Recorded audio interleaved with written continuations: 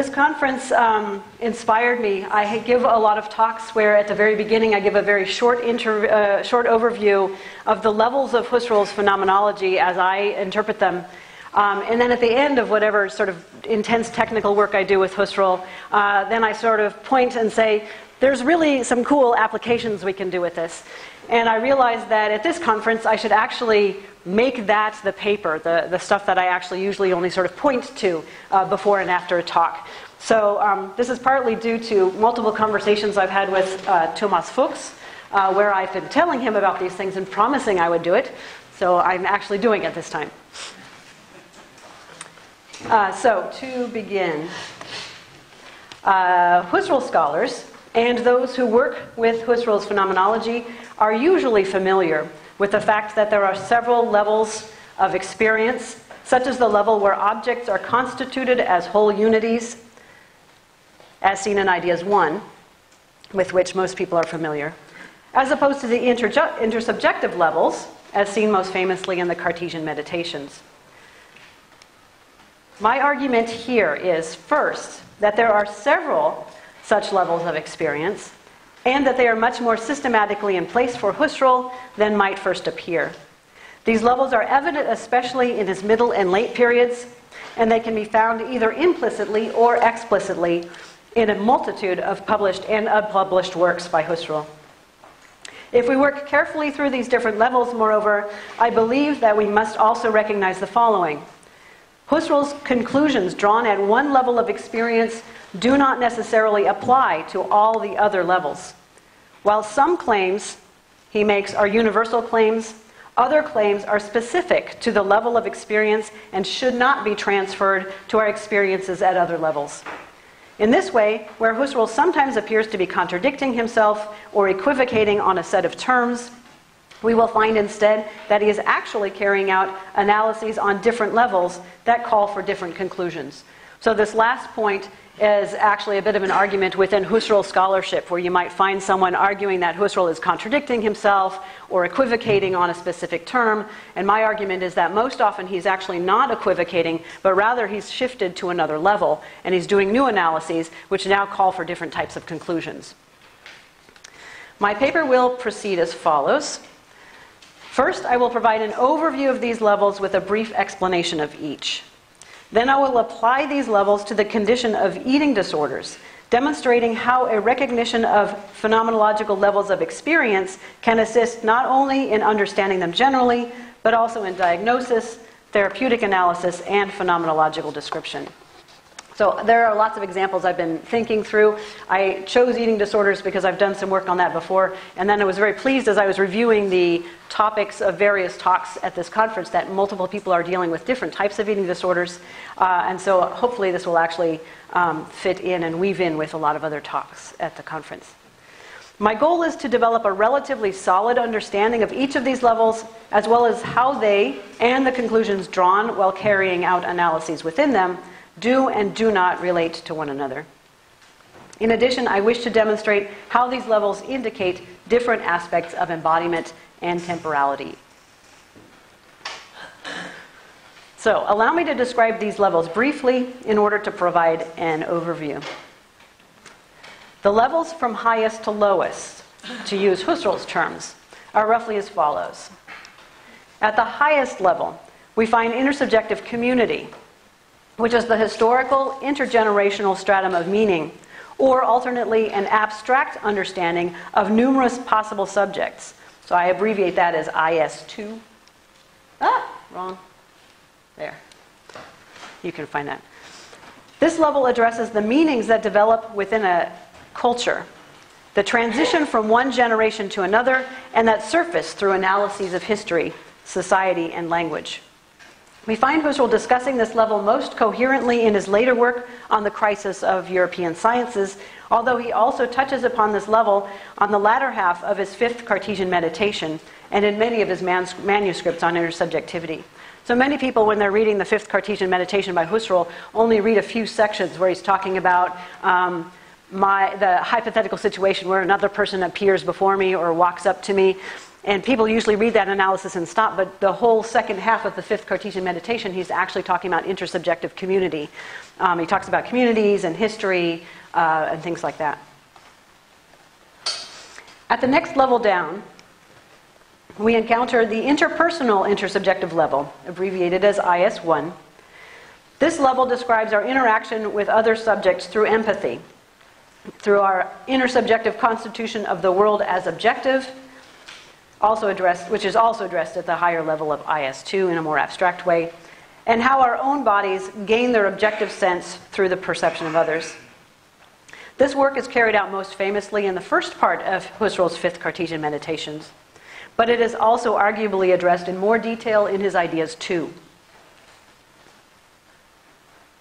So, the interesting thing about uh, the IS1 and the IS2 is sometimes it looks like Husserl talks about a first level, which is concrete others, and then a pure level that looks like a more intergenerational part. But if you look at different texts, there's actually a concrete and a pure level at the interpersonal level, and a concrete and a pure level uh, aspects on the uh, level of, of intergenerational um, intersubjectivity.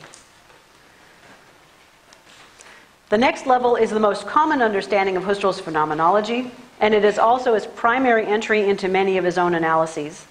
This is the level of individual meaning constitution. Although much constitutive activity it, here is actually passive in addition to active, I will refer to this as the level of active constitution, or AC. It is here that we take up consciousness's active meaning constitution and the meaningful contents with which it is engaged. Husserl's analyses at this level describe the structures of consciousness required for meaning constitution, such as noesis and noema, and he focuses on the individual subject and her constitution of experience of experienced objects as unities. Ideas 1 is a text best known for Husserl's extensive analysis in this area. So most people, at least in the United States, if they have an introduction to Husserl, they're going to read Ideas 1. Um, some misunderstandings of Husserl have been based on the fact that some people only read Ideas 1 and not much else. I don't think in Europe that is much of a problem as it is in the United States. Um, but this is one way, this is how Husserl often enters into his phenomenology, but it's clear that if you read multiple texts, he's actually moving well beyond that level. The next layer down is more nebulous, as it is the level of passive synthesis. This layer addresses what is passively in play, such as associations between similar things, habituations of constitution and decisions, sedimentations of memories, etc. However, we should note that for Husserl, passive does not mean inactive, but rather the synthetic work done by consciousness that goes unnoticed, while consciousness is engaged in direct experiences. This includes embodied habits, as well as tendencies to constitute certain sets of data in one way rather than another. So we have habits of constitution, we also have embodied habits, we have decisions that we make that become part of us. All of this is understood by Husserl through passive, uh, passive synthesis.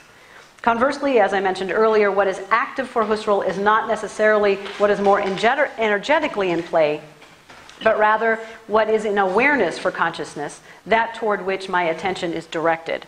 So Husserl changes the meanings of active and passive in a certain way or uses them differently, where active really means what's in the forefront of my consciousness, what I'm really paying attention to, and passive does not mean inactive, but actually means it's in the background of my consciousness or what consciousness is sort of doing all the time. So passive synthesis is sort of the machinery of consciousness, and the active consciousness is what consciousness is aware of what it's doing.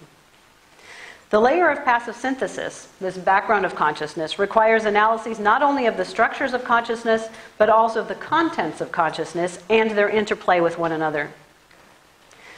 These analyses, analyses are most famously published in the collection of Husserl's lectures on the analyses concerning passive and active synthesis, but they can be found throughout his work, especially beginning in his middle period. Finally, the lowest level of experience is that of the flow of primordial material, often referred to as the hyletic flow. This flow is a layer of rudimentary sensory experience that underlies our acts of perception. Husserl refers to this hyletic flow already in Ideas 1, but in his lectures on passive synthesis and in his later manuscripts, we see much more attention directed toward this area.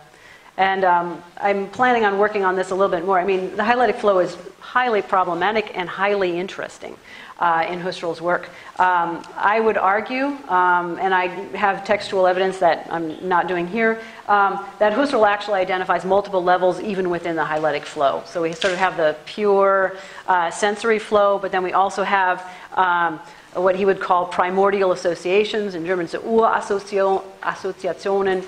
Um, and so already at the level of the hyletic flow, we have um, groupings of um, appearing sensations that kind of come together already. So consciousness is already passively doing work at the level of the hyletic flow.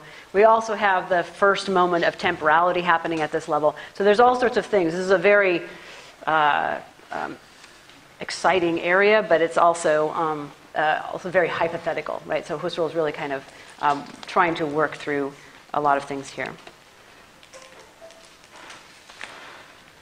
As indicated, Husserl often focuses on only one level at, in a specific text or set of analyses. So I would say ideas one is really just at the level of active constitution.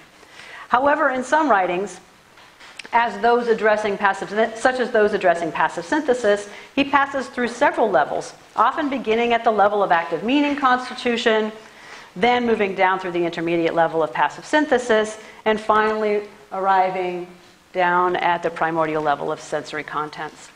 Or conversely, he might begin at, begin at the level of object constitution and then move upward into discussions of the different levels of intersubjective uh, experience. So from starting at the active level and then moving up to the personal level and then the intersubjective community. This can be confusing to the reader, as his passage from one level to the next is often unannounced. And even more problematic, we find the same terms, such as association or affectivity, even objectivity or materiality, being applied at each level However, their meaning changes subtly with each move according to the shift of his analyses. And sometimes he actually re- redefines the term. So, in work that I've done in the past, we see him working th- through the notion of association. He redefines it uh, several times. And if you pay attention, he's actually redefining it according to a different level. This leads not just to confusion, but it also gives the impression that Husserl is equivocating between multiple definitions of the same term or that he might be contradicting himself when in fact he is not. So I've done um, quite a bit of sort of technical work with Husserl's texts. I'm not going to do that here. We can talk about that uh, later. Um, in another version of this paper, I, I, show how in the fifth Cartesian meditation, Husserl is actually explicitly moving from one level to the other. Not totally explicitly, though, because he doesn't actually say, I'm moving from one level to the other. Um, but his terminology shifts very much so, um, and the, the direction of his gaze seems to shift with him. I would like to turn now to a concrete example, that of eating disorders, in order to work through how these phenomenological levels of constitution function in everyday experiences. My argument in this section, however, is not merely that the levels of constitution are important for phenomenological projects, but rather that these phenomenological levels can be extremely useful for projects in other disciplines, such as psychology, sociology, gender studies, and critical theories of race. Given the interests of many con- contributors at this conference, my example of eating disorders here will be both phenomenological and therapeutic in nature. But because I am not an expert in therapeutic approaches, I do ask for your indulgence in my errors or any errors that I might make. My goal is not to overturn any approaches already in place in other disciplines. I wish merely to introduce a nuanced perspective that might, first of all, offer a way to gain deeper understandings of phenomena in a variety of areas and second, present a rubric wherein multiple approaches to an issue, approaches themselves that might appear to contradict, can be seen in their relation to each other in such a way that they might be able to work together. So, allow me to begin with the highest level of constitution, the level of intersubjective community, generations, and history. Plenty of work has been done to reveal the historical connection between body shape, especially thinness, and beauty. Susan Bordo, this is several decades ago, in her slender, slender bodies, for example, describes these connections as well as draws links between work ethic, asceticism, and self control on the one hand, and consumerism and lack of self control on the other. So, the fact that discourses, or the discourses of our community, play a role in eating disorders has already been well established. So, uh, Susan Bordo uses an awful lot of Foucault in her work as well, which is why the, the connection between discourse and eating disorders is established. The individual who develops an eating disorder is surrounded by attitudes, both in the general atmosphere of society and in specific discourses and images, so you can talk about media images, that they take up into themselves. I take attitudes about bodies, about specific types of bodies, about beauty and thinness or fatness, and about self control, and I relate them to my understanding of attractiveness, likability, success, etc. These attitudes become part of how I think, implicit in my decisions, and more importantly, they become integrated into my embodiment and habits, into my comportment, gestures, and behaviors. How my body is constituted, both by others and by myself, is influenced, or guided, or filtered by the community, attitudes, discourses, and images that are, surround us. Thus, these attitudes become part of how I live my body. Husserl himself recognizes the importance of intersubjective discourse in how I experience myself and my embodiment. In his analyses in Ideas 2, he demonstrates that my body only truly becomes an objective material body through intersubjective constitution. When I encounter other subjects, I recognize them not only as other subjects like myself, but also as subjects who see me in the same way as they see objects in the world. Just as our mutual co constitution engenders the objectivity of objects in the world and of the world itself, so this is an extended argument that Husserl works out in Ideas 2. This co constitution also folds back onto my own body and it becomes con- my body becomes constituted like other objects in the world. In other words, when we co constitute the world and its objects as there for everyone, as material, only then does my body appear as a material object. So, this is something Husserl explicitly says in Ideas 2. I've worked with this uh, quite a bit with regard to the constitution of gender, or gendered embodiment. In this way, and only through the constitution of other subjects, I am able to constitute my body as an objective thing. So I can only understand my own body as objective once I have been in relation with other subjects. As Husserl explains, it says, uh, the solipsistic subject could indeed have over against itself an objective nature. However, this subject could not apprehend itself as a member of nature, could not apperceive itself as psychophysical subject, as animal, the way this does happen on the intersubjective level of experience. So we can have some kind of rudimentary sense of, obje- of an objective world just because material objects are not the same as my body. But I only understand my body as sort of a part of nature or as an objective thing once I encounter other subjects. Thus, it seems clear that this higher intersubjective level is essential to how I understand my body. It is the ground for the embodiment, or it is the ground for my embodiment as material and it provides much context and even content to how I interpret my embodiment in relation to those around me. And this is demonstrated not only in Husserl's phenomenological work, but also, as we mentioned above, in other studies as well. So, an awful lot of feminist work and queer theory um, uh, finds discourse uh, to be uh, essential to my experience of my embodiment. Um, so, my work on uh, gendered and sexual embodiment uh, addresses this and demonstrates that Husserl also makes this argument. Um, so my argument is that phenomenology can also enter into these discussions. But Husserl offers um, the other perspectives of all these other layers, whereas many of the arguments in gender studies um, see the embodiment as purely discursive and don't uh, engage any of the other levels, or they argue all of those levels are purely discursive. And I do take, I take issue with that. But eating disorders are not solely grounded at this higher intersubjective level, for it cannot explain why certain individuals develop, develop such conditions and others do not. Our intersubjective community provides a context and filter that, make, that can make eating disorders possible, and in some cases can even drive forward certain occasions of eating disorders. Nevertheless, we know that there are many people for whom merely this context is not enough to lead to an eating disorder. Thus, if we were to analyze eating disorders only from the perspective of attitudes of the general community, we would leave many questions unanswered, especially with regard to how different individuals manifest eating disorders in different ways, and how some cases can become much more extreme than others. For this reason, we move to the next level down. That of the first lower level of intersubjectivity. My relations of individual per- to individual persons and concrete groups of individuals. So this is the level of um, sort of individual person, personal relations. The people around me usually partake in and reinforce the discourses flowing through our social institutions, if we follow a Foucauldian analysis. But they can also voice counter discourses that challenge predominant and hegemonic discourses. This is also a Foucauldian position. Thus, how individuals in my life express the discourses relating to my embodiment will have a concrete effect on how I, how I constitute my embodiment for myself.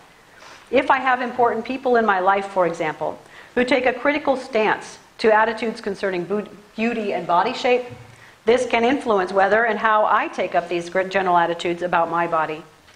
If I have influential people who emulate these attitudes, striving, for example, for thinness and beauty in word and deed, then this will affect me as well. It may affect me in opposite ways. That's another thing. It may make me follow them, it may make me act against it.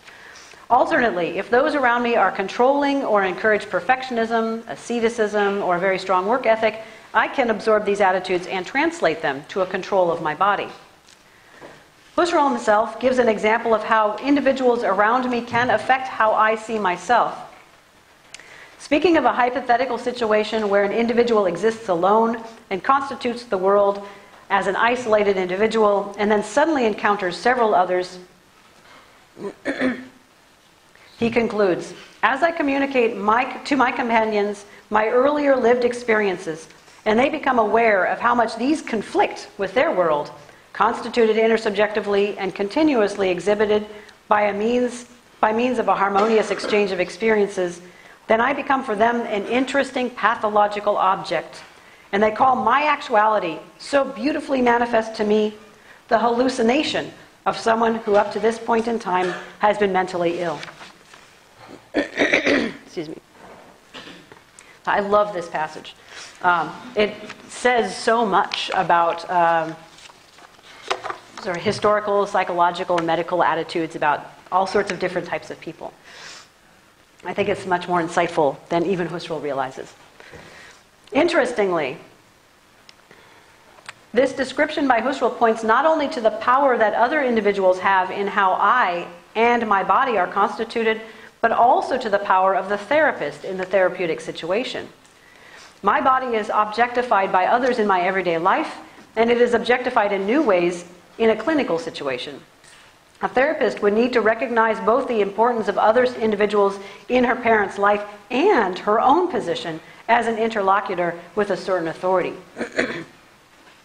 However, Husserl's description also shows how individuals with eating disorders might constitute meanings for themselves in relation in relative isolation having taken, by having taken, a, excuse me, by having taken certain social meanings to an extreme, people with eating disorders can live both within and outside of common social discourse.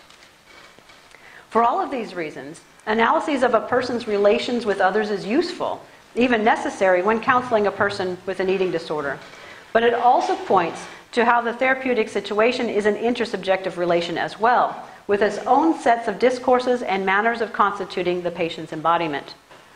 Husserl's phenomenological analyses of embodiment highlights the importance of every intersubjective encounter in how I constitute myself and my embodiment. But within the context of phenomenological levels of constitution, we will notice that individual relations with others appear in a new light when they also reflect the higher level of intersubjective community. It makes a difference, in other words, whether a therapist focuses on a patient's relation with a controlling mother or whether the patient's relation with a controlling mother is examined in the context of a society that values thin- thinness as an aesthetic. Each of these levels, further, are in play as the individual constitutes her own embodiment in relation to thinness. In this way, not only is Husserl's work at this specific level useful, revealing the importance of other subjects and even the therapist and how a patient's embodiment can be constituted, but his recognition that embodiment is constituted through multiple levels at once can also provide layers of context that offer further insights and depth. So you could choose to work just at one level, or this one I would say probably is the typical therapeutic level. But if you take this and, and, sort of consciously stay aware of the influence of one level to the other, and also pay attention to that, that this level is paying attention, then you have sort of a deeper uh, type of analysis. But this is still not the whole picture. My own flow of experiences, retained and rec- recollected, provides a perspective from which I mediate and interpret the, those meanings and with which I come into contact. This is not to say that I can access intersubjective meanings from an objective viewpoint. Even if I isolate my own, myself in my own meaning constitu- construction, I engage with intersubjective meanings from the basis of my own history. My own history and my own experiences give me a d- distinct perspective. From that perspective, my own experiences may or may not resonate with the meanings I encounter from my community and other uh, individuals. I am called to respond to any dissonance. In some cases, my re- response might be to establish my own world of meaning, despite the consequences. But however I respond, the context of my own experiential history is an essential ground from which I constitute any meaning. My constitution of my body, therefore, is not just an act of absorbing and living out the intersubjective discourses that surround me, whether from my community or other individuals, but it is also an engagement from my own perspective. For this reason, a therapeutic approach to eating disorders must attend to an individual's history and how that individual person engages with intersubjective meanings. In fact, recognizing the distinction between the intersubjective levels and this level of individual constitution can also assist in responding sympathetically when a patient is dealing with the tension of multiple con- con- constitutions of her embodiment. So you have a person who, for example, might think that they're fat, everybody else says that they're thin. You have two discourses. So rather than, say, choosing one side or the other as a therapist, the recognition that there's more than one discourse going on and that the individual person is actually engaging in multiple discourses in different ways um, might give a, a, new perspective and a new uh, way to approach. in fact, this level of active constitution is a central point at which intersubjective meanings of embodiment overlap with my own sensory embodiment. As I constitute my embodiment, I may highlight intersubjective meanings or sensory input I may find that they integrate with one another or that they conflict. I may push certain aspects into the background, remaining relatively unaware of them, while I bring others to the fore. How I carry this out, however, depends on the discourses that I absorb from my intersubjective context, my own engagement with meaning, and on the sensory input and patterns of experience already embedded in my own experience. Husserl gives an example wherein a person in a situation of doubt may actually decide in favor of a belief that contradicts his experiences because of the strength of that belief. This is in the analyses of passive synthesis very early on. So he's talking about doubt. Uh, and, he, and there's this one sentence where he says, Well, I'm, you know, I'm paying attention to the evidence, I'm searching out the evidence, and that will help me decide whether this is one thing or another. On occasion, I may just believe that it's one thing, and even if the evidence shows me to the contrary, I may actually choose for that belief. So he recognizes that certain mindsets can actually influence what kind of decisions we make in spite of the actual um, sort of concrete sensory evidence that we might have. For Husserl, then, both the belief systems within which we live, which correspond to intersubjective discourses, and the sensory evidence directly experienced are in play when we constitute our current experiences. With this, we move to the next level of passive synthesis, here we find not only the synthesis of all meaning that has been constituted through the higher levels, but also syntheses of patterns of behavior, habits, and decisions. So this is where I think embodiment really comes into play, though of course it's already in play at all of the levels. Embodiment gains depth at this level, since here we, under, here we see how patterns become ingrained, how decisions from our past affect our current uh, engagement with objects, and so on. This level of passive synthesis is important in an analysis of eating, analysis of eating disorders. Eating disorders do not appear fully formed. Rather, they develop through repeated actions. They become ingrained into bodily movement as well as manners of perceiving, thinking, and behaving. A person with an eating disorder might develop revulsions to certain types of food, for example, or establish rituals surrounding meals, exercise, or measuring their, their size or weight. These begin as momentary actions or reactions, but they are subsequently repeated in such a way that they become part of the individual's of, part of the individual, embedded in her style of behavior, the means through which she relates to the world and her own embodiment. They become meaningful for themselves. Husserl describes a similar situation well. There arises some sensuous drive, for example, the urge to smoke. I reach for a cigar and light it up, whereas my attention, my ego attack activities, are entirely somewhere else. The ego always lives with the medium of its history. In all its, all its earlier lived experiences have sunk down, but they have after effects in tendencies, sudden ideas, transformations or assimilations of earlier lived experiences. And form such assimilation, and from such assimilations, new formations are merged together, etc. Husserl is describing embodied habits, habits that I carry out even when I am not paying attention to them. They are part of my history, sedimented in my embodiment. And they are connected, and yet they are connected to what I do now and how I constitute the world and myself. Here it becomes clear that a straightforward analysis of, say, intersubjective attitudes about beauty and thinness would probably not suffice in treating someone with an eating disorder. For the embodied practices of sedimented, for the embodied practices sedimented in passive synthesis, practices that affect not only the physical body but also the thought processes and sensory perception of the individual, are fundamental to the disorder itself.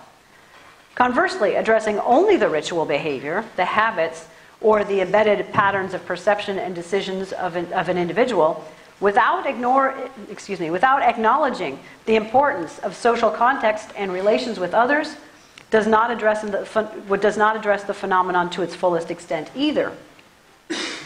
At this level, the body has its own history, a history sedimented into muscle movement, into involuntary reactions to odors and textures, into desires and revulsions. But this history is integrated with the meanings found at the higher phenomenological levels. Full analyses must therefore address each individual level, as well as how the levels relate to one another. Finally, we turn to the lowest level of hyletic flow, where we find primordial sensory experience. We have our original moments of sensory content. Here we have original moments of sensory content, including not only the traditional five senses, but also such feelings as nausea, pain, pleasure, and tension. This is something that Husserl addresses specifically in Ideas 2. Although the hyletic flow is simply a flow of pure sensation, or at least one aspect of the hyletic flow, Already here, certain sensory content may be highlighted or primordially associated, and as such, it is set apart from other content. So here we already sort of see two levels within the hyletic flow. Sensations of nausea, for example, associate primordially with one another, distinguishing themselves from, say, the color of red, the sound of a ticking clock, or pain in my toe. Now, that doesn't mean I can't also have associations between things. So if I experience nausea and the clock is ticking really loudly, then a week later, when I hear the clock ticking loudly, I may remember that experience of nausea or feel, start feeling nauseous again. Husserl talks about those types of associations as well. Given this, the level of hyletic flow can be said to have more than one layer within itself, as we've been saying. The pure sensory flowing is the ultimate ground, and the flow of primordially associated sensory contents rises up from the ground. In addition, the primordial level also contains immanent temporalities, or the flow, uh, original flow of inner time consciousness. It is here, then, that sensory contents are originally taken up as primordially associated and in temporal constitution. this is also the most fundamental level of embodiment. The sensations arising from the body distinguish themselves from the sensations of other objects because of their double sensations. So, the sensation of sensing oneself while also uh, sensing something else. These double sensations are sensations that come from feeling one's own body externally in touch and internally in movement and location, also known as, uh, uh, often described as proprioception. The sensory content of embodied constitution therefore originates at this level. The embodiment of a person with an eating disorder will similarly have a phenomenological basis in such sensory content, but certain patterns established through passive synthesis can act to highlight or cover over aspects of the sensory flow. Hunger may be covered over, for example, while revulsion or desire may leap to the forefront. Husserl himself, in an earlier citation that, we just, that I just read, describes the urge to smoke as a sensuous drive, but also as a sensuous drive that he does not notice because he is occupied with other things.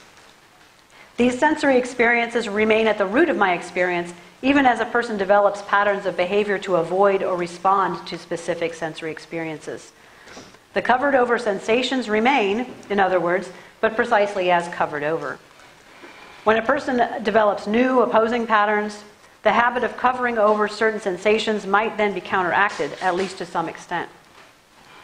A person recovering from an eating disorder, for example, might once again feel hunger, hunger pangs or may overcome the revulsion or desire for certain foods.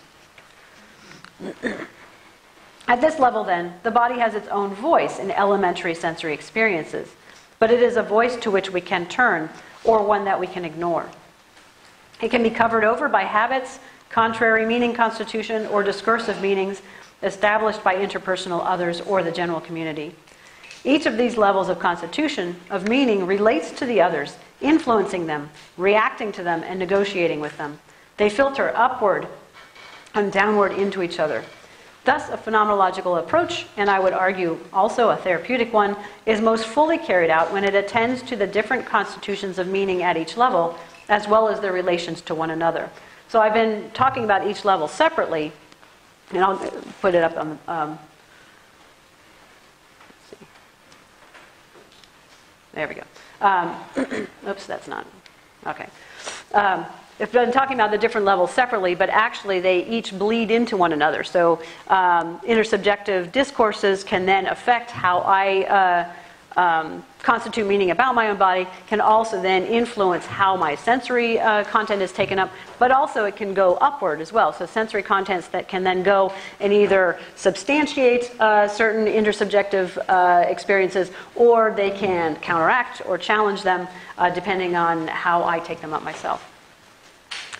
All right.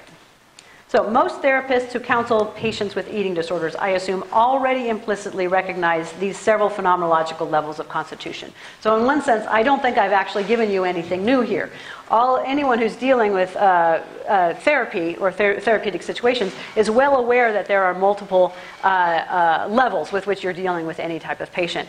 Um, but perhaps outlining these levels, as I have done here, might offer a rubric from which deeper analyses could be carried out at different levels. And further, the constitution of meaning at one level can be re- recognized in its relation to and influence upon other levels. So, what I've hope, hopefully done is sort of um, distinguish these levels so that if you wanted to, you could then focus on one level for a patient and stay there for a while. So linger there to work through the issues at that level, or take a step back and sort of work at, with multiple levels at once. We are always experiencing through all of these levels at once, but from a phenomenological perspective, we can examine how the meanings constituted at one level can filter into the others, whether we are following the trajectory downward from, say, let's see, we got, there we go, the review. Um, my intersubjective constitution uh, into sen- sensory embodiment, or upward from rudimentary sensation into individual and then intersubjective meaning constitution. Thus, we can carry out specific analyses at any single level, achieving a deeper understanding of the experience and constitution of meaning that takes place there, and we can carry out analyses that focus upon the relations between the levels and how the phenomenon is constituted through multiple levels at once. Recognizing these levels of constitution and their relations offers insight into specific types of experience and flexibility and in how, and in how we analyze them. A further benefit to this rubric is the following. Recognizing, so we'll go back, uh, recognizing that there are multiple levels of experience could give a therapist more flexibility as to how to approach a specific individual with an eating disorder with an eating disorder. Since each individual has their own embodiment, history, and their own constitution of intersubjective meaning, how one treats a specific individual might depend on how that person takes up meaning. One's approach might differ depending on whether, for example, intersubjective discourses are given priority in that person's narrative rather than patterns of behavior. From that point, the therapy can then turn to other levels depending upon the conversation between the therapist and the patient. If nothing else, it provides multiple perspectives on an individual case, thus offering different avenues of approach. That was my last sentence. Thank you.